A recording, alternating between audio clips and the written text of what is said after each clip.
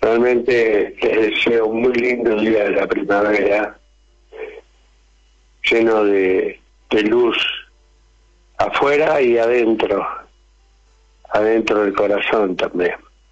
Lindo día, que tengan un bello día. Miren, antes de hacer la editorial, quiero que estén todos muy atentos.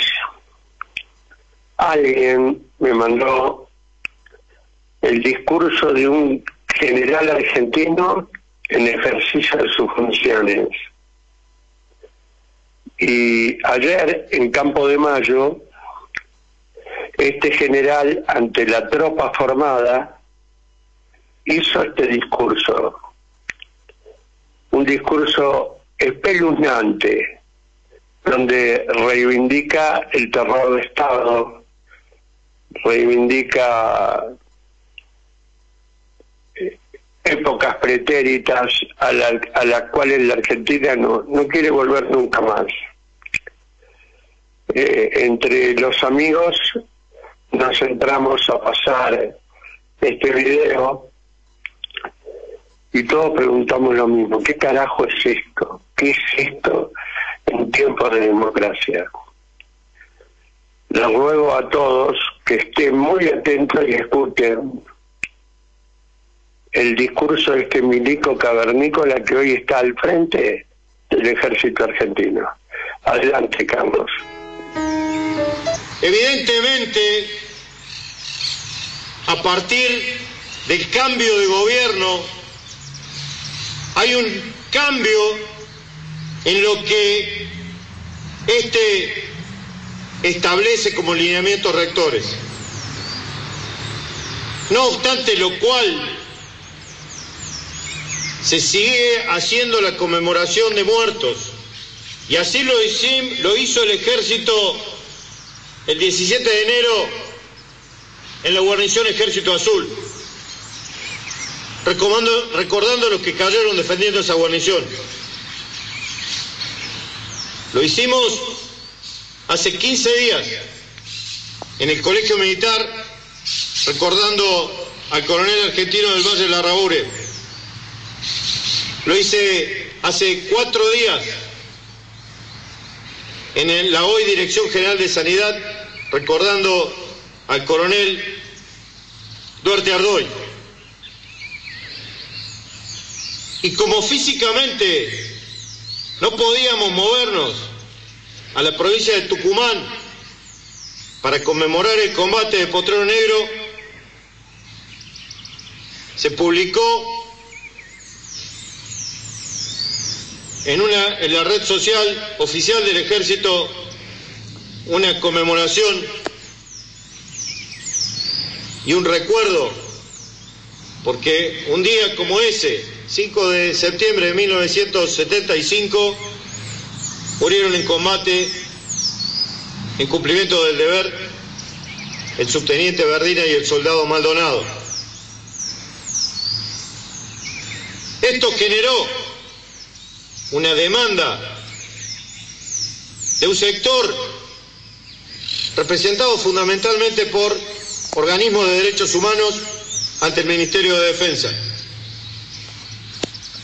Situación que generó una crisis. ¿Por qué esta conmemoración que está enmarcada en el operativo Independencia lleva como título de una causa judicial con tratamiento en el Juzgado Federal de Tucumán. A partir de esta definición de la justicia se genera el conflicto. Porque todo lo que pasa a lo largo de este tiempo está en esta causa judicial. Ante esta situación fue necesario desescalarla, razón por la cual se levantó la publicación en la red social del ejército, dejando claro que la única intención es recordar a nuestros muertos. Y por esa razón, quizás hay interpretaciones que cada uno hace desde el lugar donde se encuentra. Y puede alguno haber pensado que renunciamos a esto que decimos que es central para alimentar nuestro espíritu en esta vocación. Esa es la razón por la cual decidí, luego de una reunión que tuve con el ministro de Defensa en la tarde de ayer, de efectuar este recorrido que inicio aquí, que va a pasar por los cuarteles de los comandos de brigada y algunas agrupaciones para transmitir este mensaje cara a cara con la gente. Para decirle que el ejército, la conducción del ejército, nuestra institución, mantiene este recuerdo permanente a nuestros muertos.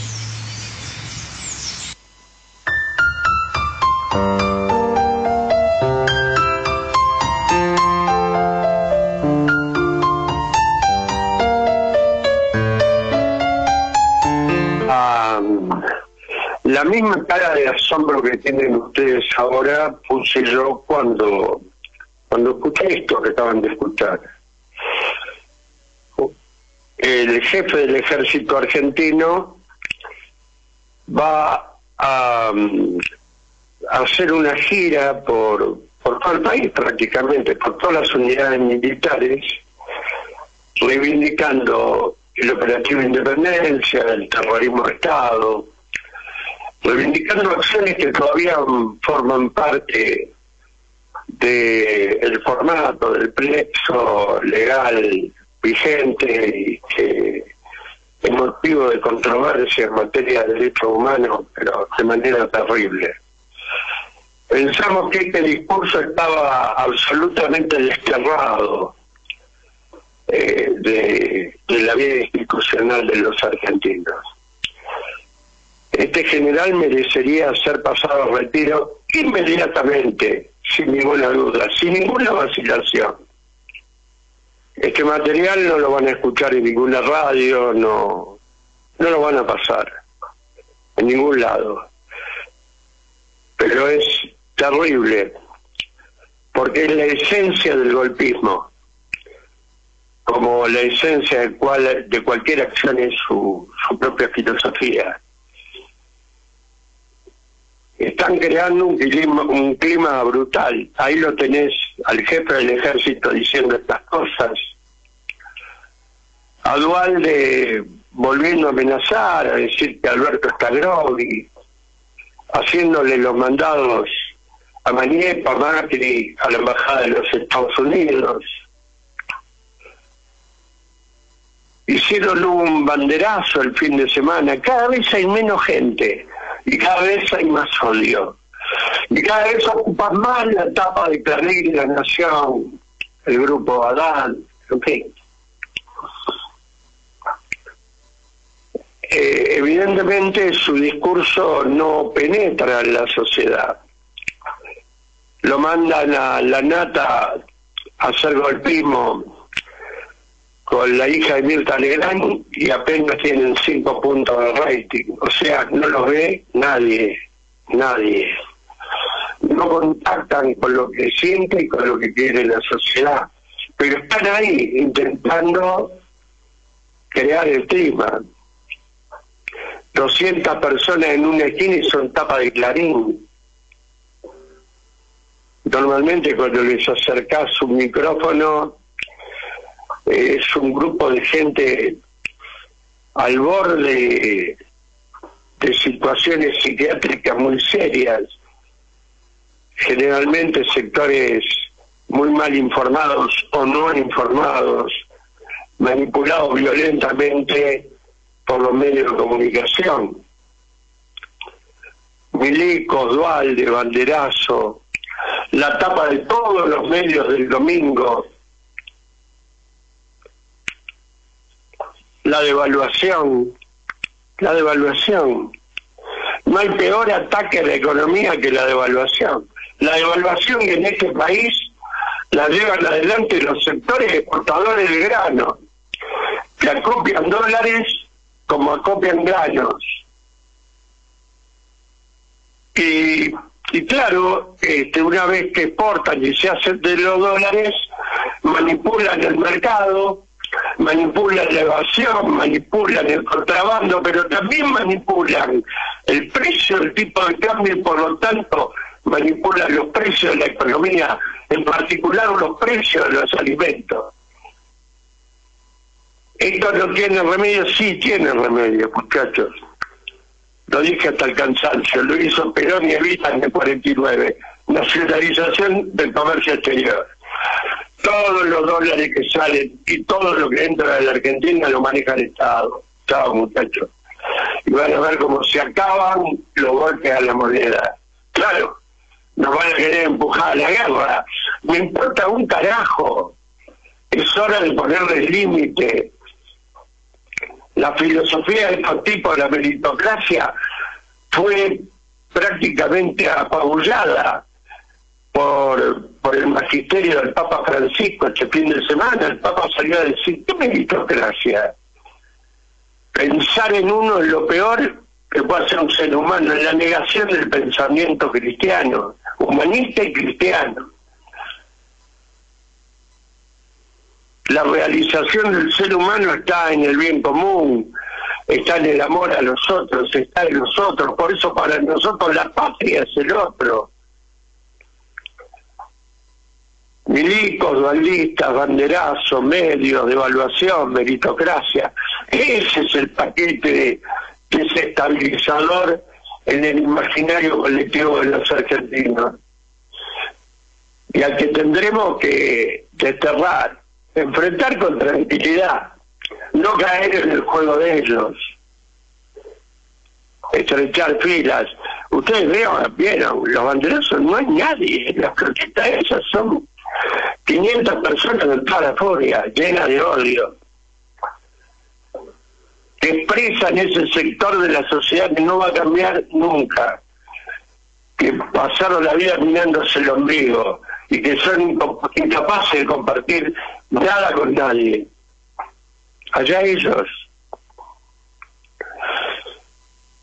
Los irrita ferozmente y lo ponen como un ataque a la institucionalidad del Poder Judicial y a, la Constitución.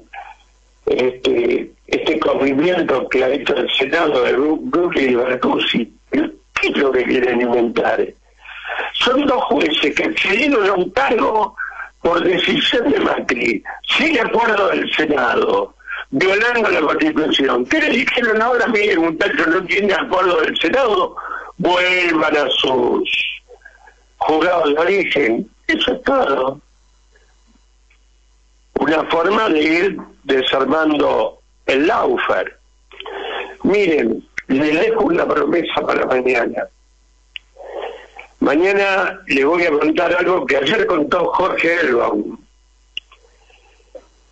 Eh, cómo la familia Máiquez, la misma que persiguió a Cristina Soria Sombra, la misma que terminó buscando para que yo esté preso desde hace casi dos años. A través de negocios sucios, se quedó con la provisión de alimentos de todo el servicio penitenciario federal. Y lo peor es que la empresa que utilizaban es socia del Chapo Guzmán y del cartel de Sinaloa.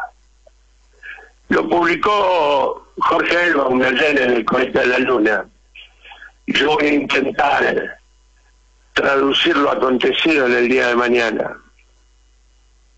Eh, es una situación espantosa. Espantoso es el macrismo que ha sostenido a la banda más ladrona, más fascinerosa, saqueadora de la Argentina, que nos endeudó en 177 mil millones de dólares y que fugó 86 mil millones de dólares a sus cuentas en paraísos fiscales en el exterior, hoy nos pretenden llamar ladrones a nosotros. Por favor. Estoy preso ni por ladrón ni por corrupto. Estoy preso por haber sido absolutamente leal al movimiento nacional, popular y democrático. Que tengan un hermoso día de la primavera y, los invito a que escuchemos juntos algo que, que guitarra en mano cantábamos en los picnics hace mucho tiempo y que fue un himno de esperanza para todos nosotros. Que todo lo que hagamos podamos hacerlo todos juntos. Es un viejo sueño de Alberto Fernández que más vale que más vale que ya tarde que nunca empecé a acariciar y a compartir. Un gran abrazo.